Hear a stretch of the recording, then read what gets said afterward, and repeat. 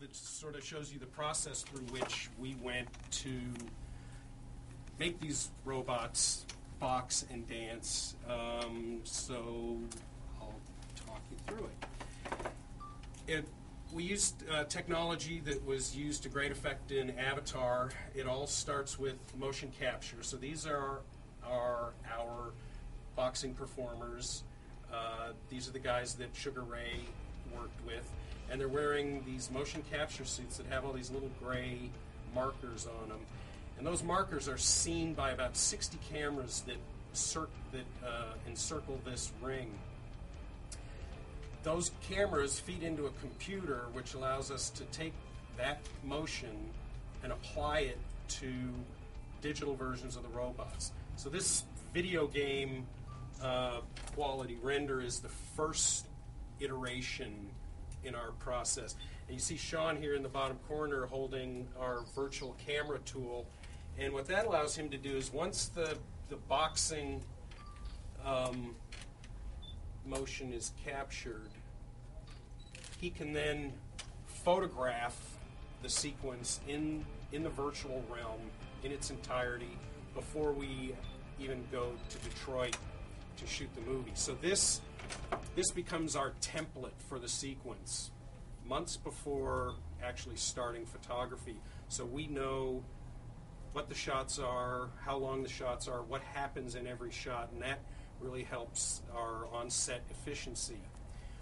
Where we took motion capture technology to a place that uh, really hasn't been done to this extent was uh, when we did finally go to Detroit and start shooting the movie, we brought all our motion capture technology with us, and that allowed us to take the boxing robots that now exist in the computer and render them and make them visible through the camera to the camera operator and Sean, the director, while we shoot.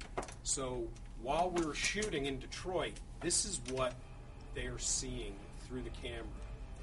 Now, nobody else in the space in the set can see it because obviously the robots are not really there. They're only visible through the camera. But it allowed Sean and the camera operator to photograph the sequence as if the robots were there. But in reality, what they're photographing has no robots in it whatsoever.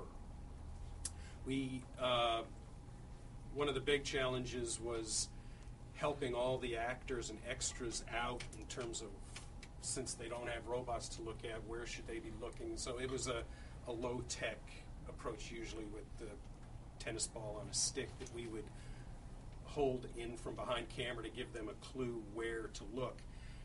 And then from there, the the rest of the procedure, which is where the visual effects team, my my my team of about 160 people back at Digital Domain here in Los Angeles, our work really starts during post production, where we have to take that motion capture data, refine the motion, take some of the humanness out of it that's inherent in motion capture, and make the punches harder, make the robots feel heavy, and then create photorealistic versions of those robots to put into these backgrounds. And this sort of illustrates that how many layers of, of rendered robot go into creating the final version. And then this next little piece is sort of a, a recap on one shot. Starts with the motion capture, then you have the virtual camera version of the shot. Then you go to Detroit and you shoot a background plate.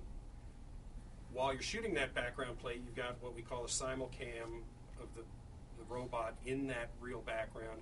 Then we light and render the robot, put it in the background plate, and that's 18 months condensed into about 10 seconds. And then the, the end result looks something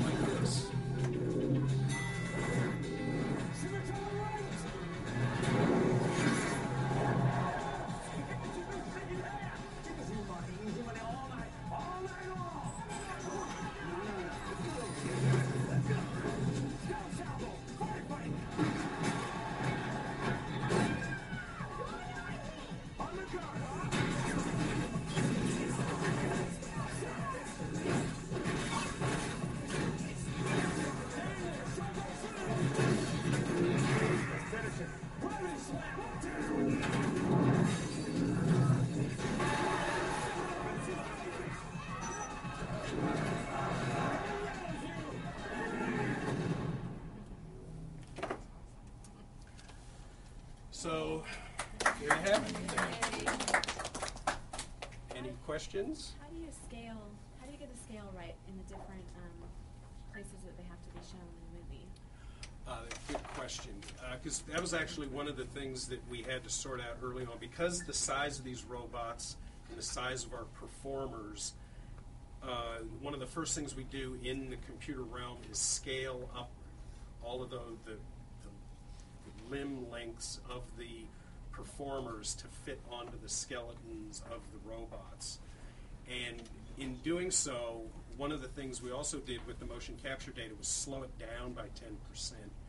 And that helps give the robots weight and make them feel heavy um, because bigger things tend to move slower and are affected slightly differently by gravity. Um, so, does that answer your question? Well, like when they're in the boxing ring, mm-hmm. how do you make sure that they're the exact right height to, compared to the boxing ring compared to the people?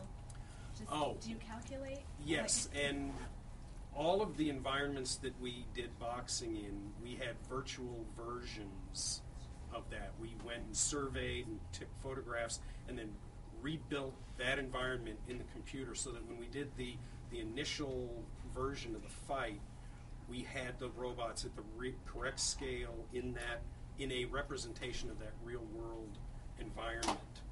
Um, so, and then when we went to Detroit, we had to make sure that that relationship of the real to virtual was exact, so that when they moved around the ring, they didn't go through the chains or float off the floor or anything like that. So there's a lot of really precise measurements that had to be done and a lot of calibration. When we went, it, that location is the old uh, Ford Model T plant, which was a fabulous location. Not very pleasant to spend any time in, but it looked great. Uh, but the, uh, our technology group that had to set up the motion capture space went in about a week and a half before we needed to shoot there, just to get everything set up so that when we did show up to shoot, they could turn it on, we could fire up the camera, and you could see the robots through the camera. Last question. How long did it take to um, do all the effects? I was on the movie for 18 months. Um, and that started in December of 09. We started shooting in June in Detroit of 10. Uh, we finished shooting in September, and we finished visual effects work this past June.